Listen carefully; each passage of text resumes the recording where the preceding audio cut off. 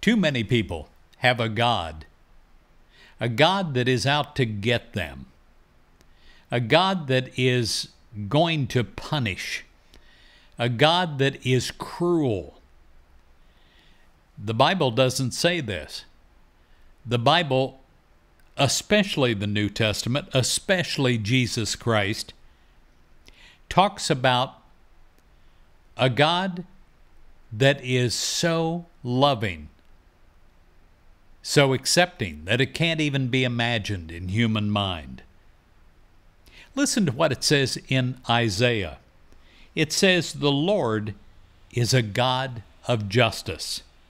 Blessed are all those who wait for God.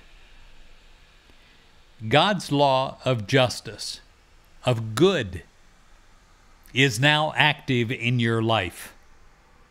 My friend, if justice ever becomes an issue in your life, you can remain positive.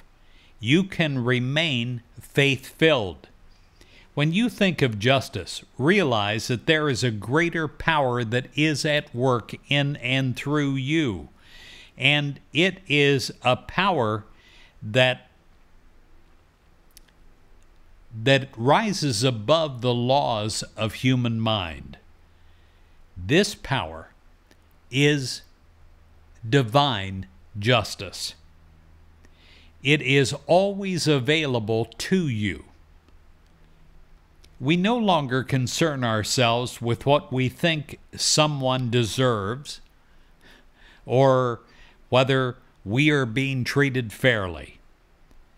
God loves everyone, and right and just outcomes are assured for all. When we think about divine justice, we know that all things are working together for good, for us, for others. God's law of justice, it is constantly working in and through us it's working in and through others.